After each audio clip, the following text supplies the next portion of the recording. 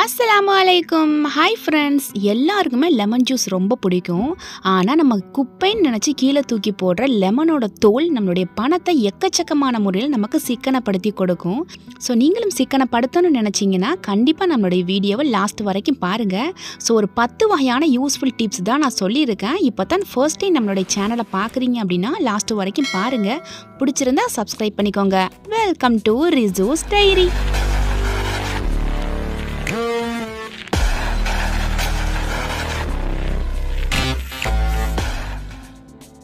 இப்போ first tip என்னன்னு பார்த்துடலாம். இதுக்கு நம்ம வந்து லெமனை எடுத்துட்டு அதோட தோல் சம்டைம்ஸ் நம்ம யூஸ் பண்ணலை அப்படின்னா நீங்கள் ஃப்ரிட்ஜுக்குள்ளே ஒன்றா சேர்த்து வச்சுக்கோங்க. ஸோ ஃப்ரிட்ஜில் வச்சிட்டிங்க அப்படின்னா இந்த மாதிரி ட்ரையாக ஆகிடும் இதுக்கு நீங்கள் ட்ரையான லெமன் தோல் எடுக்கலாம். இல்லைனா ஃப்ரெஷ்ஷாக நீங்கள் ஜூஸ் பிழிஞ்சு அந்த தோல் கூட எடுத்துக்கலாம். ஸோ இப்போ பார்த்தீங்கன்னா இதை நல்லா நான் வந்து நாலஞ்சு பீஸாக கட் பண்ணி எடுத்துக்கிறேன்.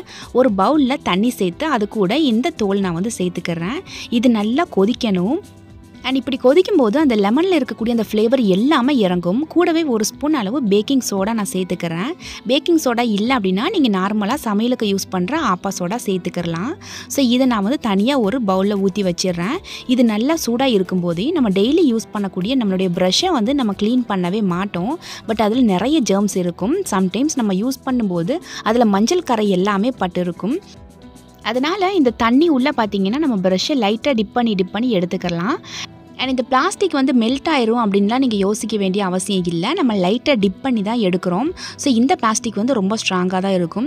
ஸோ ஒன்றோட ஒன்று லைட் லைட்டாக நம்ம தேய்ச்சி விட்டுட்டே இந்த மாதிரி டிப் பண்ணி எடுக்கும்போது அந்த ப்ரஷ்ஷில் இருக்கக்கூடிய கிருமிகள் எல்லாமே நீங்கிடும். அண்ட் அந்த ப்ரஷ்ஷில் ஏதாச்சும் பேட் ஸ்மெல் இருந்துச்சு அப்படின்னாலுமே உங்களுக்கு ஃபுல் அண்ட் ஃபுல் நீங்கிடும். அண்ட் பார்க்குறதுக்கு நல்லா பளபளப்பாக சுத்தமாகவும் இருக்கும். அண்ட் நமக்கு மனசுக்கு ஒரு திருப்தியாகவும் இருக்கும். அடுத்த டிப்ஸ் பார்த்தீங்கன்னா இந்த மாதிரி ஜூஸ் பிழிஞ்சிட்டு ஃப்ரெஷ்ஷாக இருக்கக்கூடிய தோல் நான் எடுத்துக்கிறேன். இதை ஒரு சின்ன பவுல் உள்ளே நான் வச்சுக்கிறேன். இதுக்கு மேலே பார்த்தீங்கன்னா கொஞ்சமாக பேக்கிங் சோடா நான் சேர்த்துக்கிறேன். சேர்த்துட்டு இது நல்லா வந்து ப்ரெஸ் பண்ணி விட்டுறலாம். இப்போ இதை வந்து எதுக்கு நான் யூஸ் பண்ண போகிறேன் அப்படின்னா நம்ம வீட்டில் ஃப்ரிட்ஜில் பார்த்தீங்கன்னா இஞ்சி பூண்டு ஸ்மெல்லு மசாலா ஸ்மெல்லு சம்டைம்ஸ் வரும். இன்னும் சில நேரங்களில் பவர் கட் ஆயிடுச்சு அப்படின்னா ரொம்ப பேட் ஸ்மெல் வரும். ஸோ அந்த ஸ்மெல்லை நீக்கிறதுக்காக நம்ம இது உள்ளே வச்சிடலாம். அடுத்ததாக ஒரு சின்ன பவுல் எடுத்துக்கிறேன். அதில் தண்ணி கொஞ்சமாக சேர்த்துட்டு ஒரு மூணு ட்ராப்ஸ் அளவுக்கு நான் குக்கிங் ஆயில் நான் சேர்த்து நல்லா மிக்ஸ் பண்ணி வச்சிடுறேன். இது ஓரமாக இருக்கட்டும். அடுத்து பார்த்தீங்கன்னா நம்மளுடைய தோசைக்கல் ரொம்ப நாள் நம்ம யூஸ் பண்ணோம் அப்படின்னா அதோட ஓரங்கள் எல்லாமே அது ஒட்டிக்கிட்டு ஒழுங்காக வராது. அண்ட் நம்ம கிறிஸ்பியாக நம்ம தோசை பண்ணோம் அப்படின்னு நினச்சாலுமே நமக்கு சம்டைம்ஸ் ரொம்ப காலை வரி விட்டுரும். இதுக்கு ஒரு லெமனோட தோல் எடுத்துக்கிறேன். அது மேலே கொஞ்சமாக உப்புத்தூள் நான் சேர்த்துக்கிறேன். ஸோ இந்த ஸ்டவ் வந்து கொஞ்சம் லோ ஃப்ளேம்லேயே இருக்கட்டும். லைட்டாக சூடாக இருக்கும்போது நம்ம லைட்டாக இது மேலே ப்ரெஸ் பண்ணி எடுக்கலாம். ஸோ கொஞ்சம் நேரத்துலேயே அந்த லெமன் வந்து நல்லா சூடாக ஆரம்பிச்சிருச்சு. அதுக்கப்புறமா இந்த மாதிரி ஃபோர்க்கு வச்சு நல்லா ஓரங்கள் எல்லாம் தேய்ச்சிட்டு நம்ம வந்து நார்மல் தண்ணியில் நம்ம வாஷ் பண்ணிட்டு வந்துடலாம். சோப்பு சேர்த்து வாஷ் பண்ணக்கூடாது. அடுத்ததாக நம்ம ஏற்கனவே மிக்ஸ் பண்ணி வச்சுருக்கக்கூடிய அந்த எண்ணெய் தண்ணி சேர்ந்து அந்த மிக்ஸிங்கை மேலே நல்லா தெளித்து விட்டுட்டு ஃபுல்லாக நீங்கள் வந்து ஸ்ப்ரெட் பண்ணி விடுங்க.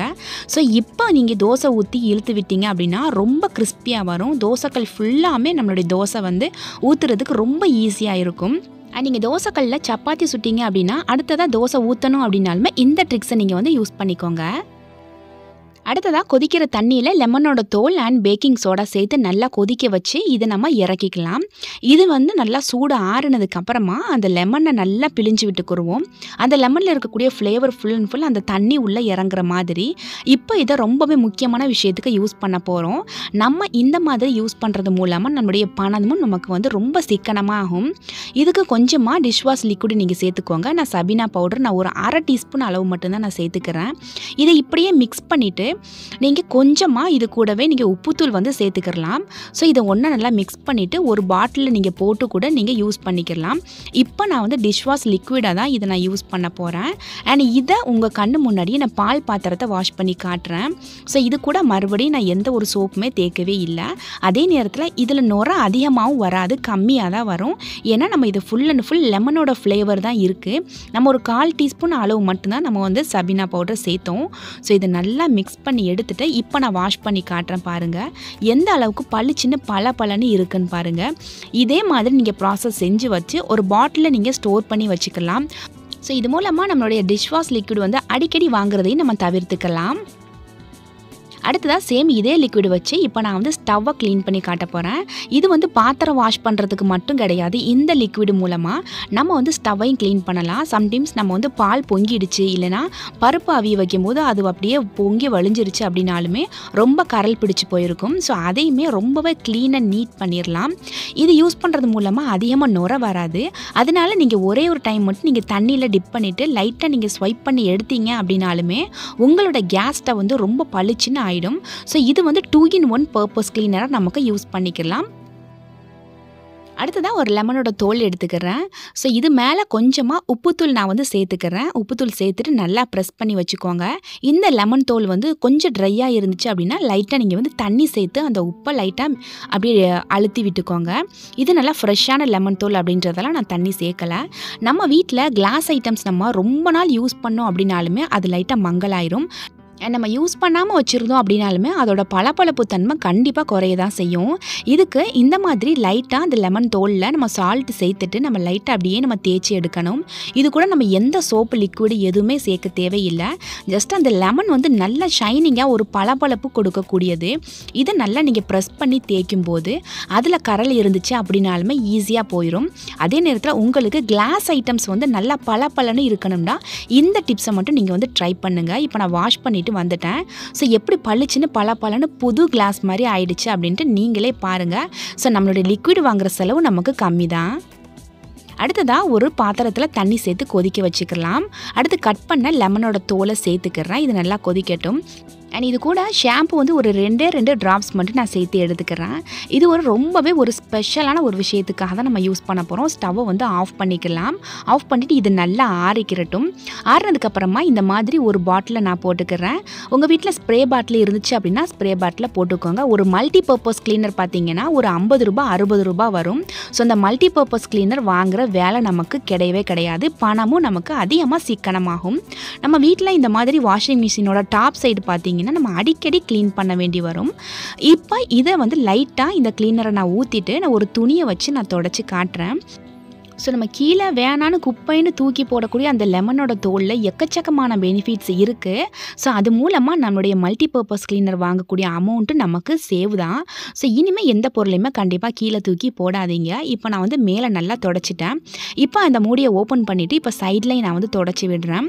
நம்ம வாஷிங் மிஷின் ரொம்ப நாளாக யூஸ் பண்ணிட்டு இருக்கும்போது அதோட உள் சைடில் பார்த்தீங்கன்னா கொஞ்சம் லைட்டாக ஒரு மாதிரி ஸ்மெல் வரும் பேட் ஸ்மெல் வரும். அந்த மாதிரி பேட் ஸ்மெல்லையும் உங்களுக்கு இந்த லிக்விட் வந்து ஃபுல் அண்ட் ஃபுல் நீக்கிடும். ஏன்னா லெமன் பார்த்தீங்கன்னா பேட் ஸ்மெல்லை அப்படியே நீக்கிடும். அண்ட் அந்த லெமனோட ஸ்மெல் வந்து நல்லா சூப்பராக உங்களுக்கு ஒரு பர்ஃப்யூமோட ஸ்மெல் மாதிரி வரும். ஸோ இப்போ பாருங்கள் நல்லா பளிச்சுன்னு பல நம்மளுடைய வாஷிங் மிஷின் ஆயிடுச்சு சேம் இதே லிக்விடை பார்த்தீங்கன்னா கொஞ்சமாக நான் சேர்த்துட்டு நான் ஃப்ரிட்ஜோட அந்த வெளிப்புறத்துலையும் இப்போ நான் வந்து லைட்டாக தொடச்சி எடுக்கிறேன். நம்ம அடிக்கடி ஓப்பன் பண்ணி க்ளோஸ் பண்ணுறதுனால அந்த கைப்பிடியில் ஏதாச்சும் சமையல் தூள்கள் வந்து ஒட்டி இருக்கும். ஸோ இந்த மாதிரி க்ளீன் பண்ணி எடுக்கும்போது நம்மளுடைய ஃப்ரிட்ஜுமே ரொம்ப பளிச்சுன்னு ஆகிடும் இதே மாதிரி நம்மளுடைய வீட்டில் யூஸ் பண்ணக்கூடிய எல்லா கண்ணாடி பொருட்கள் இந்த மாதிரி ஃப்ரிட்ஜு வாஷிங் மிஷின் எல்லாத்தையுமே நம்ம க்ளீன் பண்ணிட முடியும். அதே மாதிரி நம்ம முகம் பார்க்குற கண்ணாடியுமே கொஞ்ச நேரத்தில் பல பலன் ஆக்கிட்டோம் ஸோ கண்டிப்பாக ட்ரை பண்ணி பாருங்கள் அடுத்ததான் ஃபைனலாக ரொம்பவே யூஸ்ஃபுல்லான ஒரு விஷயம் பார்க்க போகிறோம் ஸோ கொதிக்கிற தண்ணியில் கொஞ்சமாக லெமன் தோல் சேர்த்துட்டு ஷாம்பு சேர்த்துட்டு நல்லா கொதிக்க வச்சு இறக்கிக்கோங்க. அது கொஞ்சம் ஆறுனதுக்கப்புறம் பார்த்தீங்கன்னா கொஞ்சமாக பேக்கிங் சோடா நான் சேர்த்துக்கிறேன். அடுத்ததாக பார்த்தீங்கன்னா கொஞ்சமாக ஒரு கால் டீஸ்பூன் அளவு நீங்கள் சோப்பு தூள் சேர்த்துக்கோங்க. கால் டீஸ்பூன் மட்டும்தான் நான் சொல்கிறேன் நிறைய இல்லை. அது கூட பார்த்தீங்கன்னா ஒரு அரை டீஸ்பூன் அளவு மஞ்சள் தூள் நான் சேர்த்துக்கிறேன். ஸோ இதை நல்லா மிக்ஸ் பண்ணி எடுத்துக்கலாம் இப்போ இதை வந்து எதுக்கு யூஸ் பண்ண போகிறோம் அப்படின்னா ஒரு கிருமி நாசினி தண்ணியை தான் யூஸ் பண்ண போகிறோம் நம்ம வீடு ஃபுல்லாக நம்ம மோப் போடுறதுக்கு தான் யூஸ் பண்ண போகிறோம் இப்போ நீங்கள் மோப் போடுறதுக்கு எவ்வளோ தண்ணி வேணுமோ அவ்வளோ தண்ணி நீங்கள் எடுத்துக்கிட்டு இப்போ இது உள்ளே நீங்கள் ஊற்றிட்டு நல்லா ஒன்றோட ஒன்று மிக்ஸ் ஆகிற மாதிரி நல்லா மிக்ஸ் பண்ணிக்கோங்க. இப்போ மிக்ஸ் பண்ணிவிட்டு இதில் வந்து நம்ம மோப் போட போகிறோம் இது ஏன் நான் இவ்வளோ விஷயங்கள் நான் சேர்த்தேன் அப்படின்றத உங்களுக்கு எக்ஸ்பிளைன் பண்ணுறேன் நம்ம சேர்க்கக்கூடிய ஷாம்பு பார்த்தீங்கன்னா நமக்கு டைல்ஸை வந்து நல்லா ஒரு ஷைனிங்காக பளபளன்னு ஆக்கும். அண்ட் நமக்கு லெமன் பார்த்தீங்கன்னா நல்லா அதில் இருக்கக்கூடிய கிருமிகள் ஸ்மெல் எல்லாத்தையுமே நீக்கும். அதே நேரத்தில் பேட் ஸ்மெல் வராமல் நல்ல வாசனையாக வீட்டை வச்சுக்கும். அண்ட் பேக்கிங் சோடா பார்த்தீங்கன்னா எறும்பு பூச்சி இது எல்லாமே வர்றதை தடுக்கும். அதனால் நீங்கள் மோப் போடும்போது அந்த சுவத்தோட ஓரத்துலலாம் நீங்கள் தாராளமாக நல்லா மோப் போட்டு விடுங்க. பூச்சி எறும்புன்னு எதுவுமே வராது. அண்ட் மஞ்சள் தூள் பார்த்தீங்கன்னா ஒரு நல்ல ஒரு கிருமி நாசினியாக நமக்கு செயல்படுது. இது மூலமாக நமக்கு பார்த்தீங்கன்னா வீடு ஃபுல்லாக நமக்கு கமகமன் வாசனையாகவும் இருக்கும். அண்ட் கிருமிகள் வராமலும் இருக்கும். அண்ட் பூச்சி வண்டு எறும்பு இது வராமலும் இருக்கும். அதே நேரத்தில் நல்ல ஷைனிங்காக பளபளப்பாகவும் நம்மளுடைய ஃப்ளோரை வந்து வச்சுக்கும்.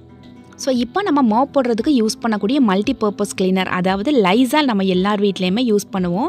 அந்த லைசால் வாங்குகிற அமௌண்ட் நமக்கு கம்மி தான் அண்ட் அதே நேரத்தில் மல்டி பர்பஸ் கிளீனர் வாங்குகிற அமௌண்ட்டும் நமக்கு சேவ் தான் அதே நேரத்தில் நம்ம டிஷ்வாஷ் லிக்விட் வாங்குவோம். அந்த அமௌண்ட்டும் நமக்கு சேவ் தான் ஸோ குப்பைன்னு நம்ம சாதாரணமாக தூக்கி போடக்கூடிய அந்த லெமன் தோலில் இவ்வளோ விஷயங்கள் இருக்கும்போது நம்ம வீட்டையே க்ளீன் பண்ணக்கூடிய ஒரு யூசேஜாக இருக்குது இது மூலமாக நம்மளுடைய பணத்தையும் நமக்கு சேமித்து கொடுக்குது. ஸோ எப்போவுமே எந்த ஒரு பொருளையுமே கீழே தூக்கி போடுறதுக்கு முன்னாடி அதில் என்ன பயன் இருக்குது நம்ம எப்படி யூஸ் பண்ணலாம் அப்படின்னு நினச்சி நம்ம குடும்பத்தை ரன் பண்ணும்போது கண்டிப்பாக நம்மளுடைய பணமும் சேமிப்பாகும். அண்ட் நம்மளுடைய டேலண்ட்டும் நமக்கு அதிகரிக்கும். ஸோ நான் சொன்ன டிப்ஸ் எல்லாமே பிடிச்சிருந்துச்சி அப்படின்னா கண்டிப்பாக லைக் பண்ணிக்கோங்க. ஸோ இந்த வீடியோ உங்களுக்கு யூஸ்ஃபுல்லாக இருந்துச்சா அப்படின்னு கண்டிப்பாக கமெண்ட் பண்ணுங்கள் அண்ட் நம்மளோட சேனலை சப்ஸ்கிரைப் பண்ணாமல் இருக்கீங்கன்னா ப்ளீஸ் சப்ஸ்கிரைப் பண்ணிக்கோங்க. இன்ஷால்லாம் நெக்ஸ்ட் ஒரு யூஸ்ஃபுல்லான வீடியோவில் பார்க்கலாம். தேங்க்ஸ் ஃபார் வாட்சிங்